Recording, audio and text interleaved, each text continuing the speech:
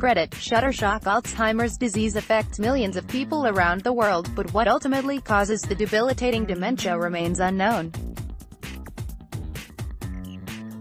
One controversial theory, however, holds that the disease might be the result of a virus, or multiple viruses, infecting the brain. Now, a new study offers more evidence to bolster this theory. In the study, published today, June 21, in the journal Neuron, researchers found that the brains of deceased people with Alzheimer's disease had higher levels of viruses than the brains of deceased people without Alzheimer's. Specifically, the Alzheimer's brains had up to twice as much of two common strains of herpes viruses than the non-Alzheimer's brains.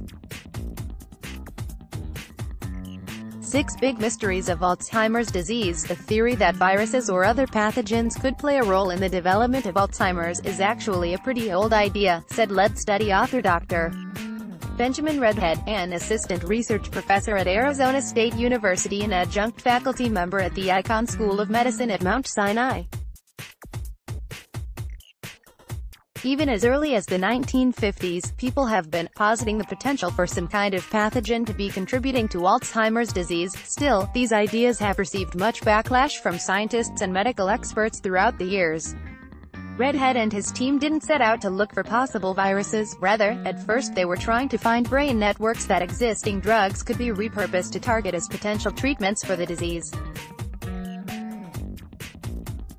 That actually kind of led us down this rabbit hole where we started suspecting that viruses could explain some of what we were seeing in these Alzheimer's disease networks, Readhead told Live Science. In the study, one of the most detailed analyses of Alzheimer's brain tissue done to date, the team analyzed nearly 1,000 postmortem brains of people with and without Alzheimer's disease from multiple brain banks. They sifted through raw RNA and DNA sequences taken from these brain tissues and identified which of these genetic sequences were human and which were not. Non-human genetic sequences were compared to a database that contained genetic data for more 500 different viruses that researchers know can, or are thought to, affect humans. Though the idea of a virus or bacterium playing a role in Alzheimer's development has not been historically well regarded, previous research has looked at the idea. In particular, past research has pointed to connections between Alzheimer's disease and the herpes simplex virus 1, or HSV1, the form of herpes virus that typically causes cold sores. But in the new study, two different strains of the herpes virus stood out, herpes 6a and herpes 7. And while it may sound startling to learn that there are strains of herpes in the brain, the thing to say about these viruses is that they're very, very common, Readhead said. Nearly everyone carries these herpes strains in their bodies because they are infected with them in infancy.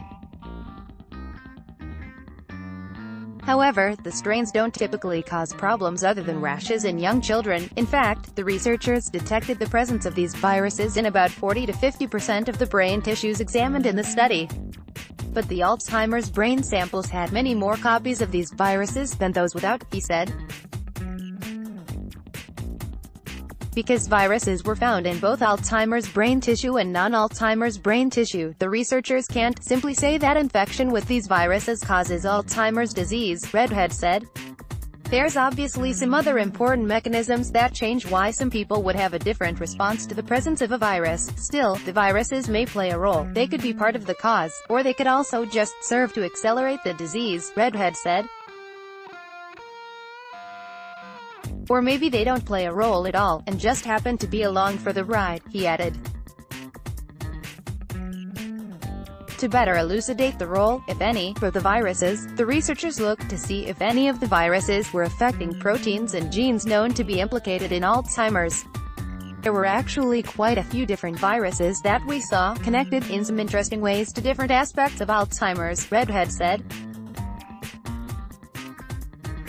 For example, the herpes 6a virus was found to interact with a large number of genes linked to Alzheimer's disease risk, as well as genes related to amyloid plaques, which are protein clumps that form in the brains of people with the disease. Still, more research is needed. One of the real outstanding questions to this is trying to determine the extent to which what we're seeing could be a causal contributor to the disease, Readhead said. Hugo Lövheim, a senior lecturer in the Department of Community Medicine and Rehabilitation at Umeå University in Sweden, who is not part of the study, praised the new research. The authors have performed a really impressive in-depth analysis of post-mortem Alzheimer's disease brain tissue samples using modern bioinformatics techniques, Lövheim told Live Science. This is in line with the now rapidly increasing evidence of viral infections as key drivers in the development of Alzheimer's disease pathology. 9 surprising risk factors for dementia. However, Lövheim noted that he still believes HSV-1 is a more likely cause of the disease at its onset. The new study, along with some earlier research, he said, indicates that the herpes 6a virus may play a role at least in late Alzheimer's disease. Therefore, future Alzheimer's drug research could aim to target both strains of the virus, he said.